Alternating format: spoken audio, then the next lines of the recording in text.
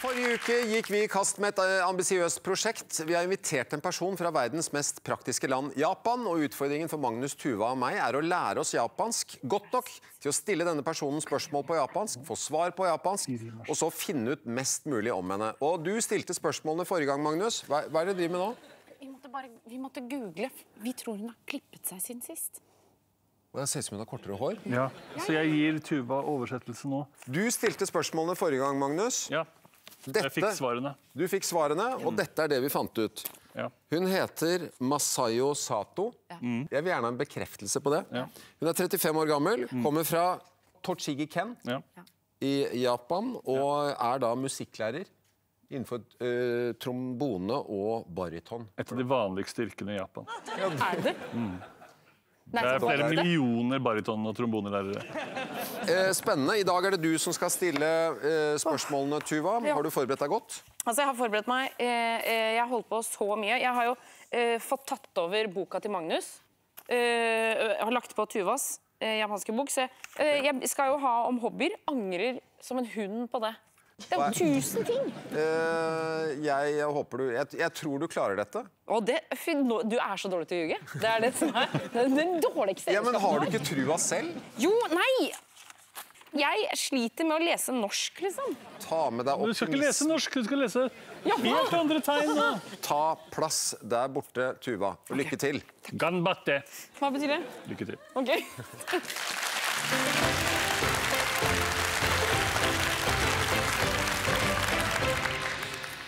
Ok, Tuva, er du klar? Jeg er klar. Du har tre minutter på deg. Magnus, Ja. du passer klokka. Hei. Tre minutter fra nå. Konnichiwa. Konnichiwa. えーえー、最後にありがとう。最後にありがとう Fan. Vad sier du da? Jeg skulle bare si, jeg skulle bare si takk for sist. Si det en gang til, da. Saigo ni arigato. Uh, arigato. OK, arigato. Anata wa eh, kami o kirimashitaka. Hei. Hei! Hun har klippet seg! Ja. Hun har klippet seg, ja. Spør om eh. gjorde du hos frisør. Eh, eh, nei. Nei, ikke, Nå må du finne ut ja. mer om fritidssysler og etternavnet. Eh, eh, anata no myo wa nandeskua. Mio? Mio Myo wa nandeska? Sei. Sei? Faen! Hva spør du om? Sei. Hva betyr sei? Etternavn! Å. Sier Tydeligvis ikke. Nei, tydeligvis ikke. Ok, jeg prøver. Men prøv å si navnet og se om hun nikker, da. Ja, Sato. はい。 Hei. OK, Vi da går for det. stryker jeg det Ok, spørsmålstegnet. ok, ok. ok. Dette var mye vanskeligere enn jeg trodde. Jeg er helt tørr i Nå må du komme i gang med Ja. fritidssysler. Ja. Kyowa shumi no hanashi. 炭。 Sumi. す、炭って何ですか。 Eh, yo, eh, yoka no Nei, faen. Nei, dette er altfor tidlig. Eh, sumi?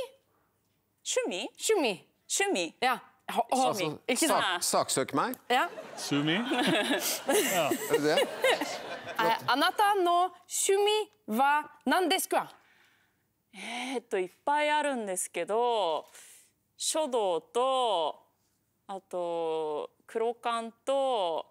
あと。 Shoddo! Intsugi. Shoddo? Shoddo. Ja, ja. Eh, eh, eh, kalligraf.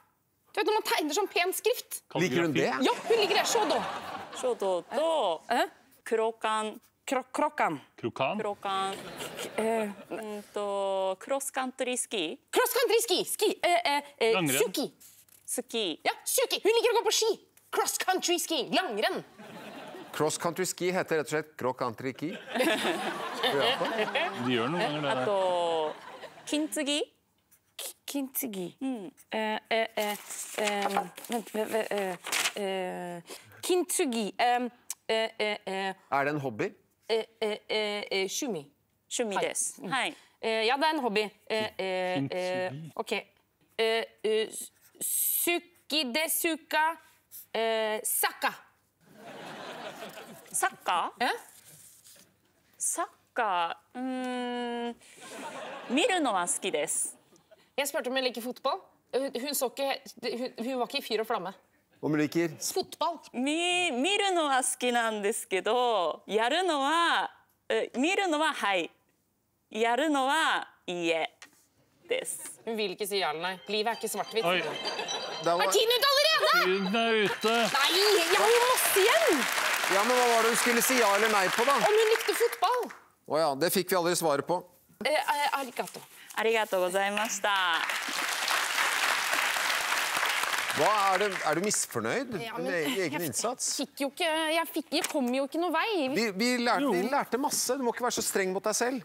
Husk at det er på et fremmed språk, dette her. Det så var så vanskelig. Det er vanskelig, men altså... Du Fikk altså jo to hobbyer her. da. Ja. Fikk Hvertfall. hobbyer, altså at hun driver med kalligrafi. Men Der var dere litt imponerte. Ja, Ja. veldig. Men langrenn fikk du gratis. Eh, litt, men så klarte jeg å si det på japansk rett etterpå. Ja. Jeg vet ikke om dere la merke til det, men jeg sa, når hun sa eh, kroski, så sa jeg å, og så sa jeg det på japansk. Ja.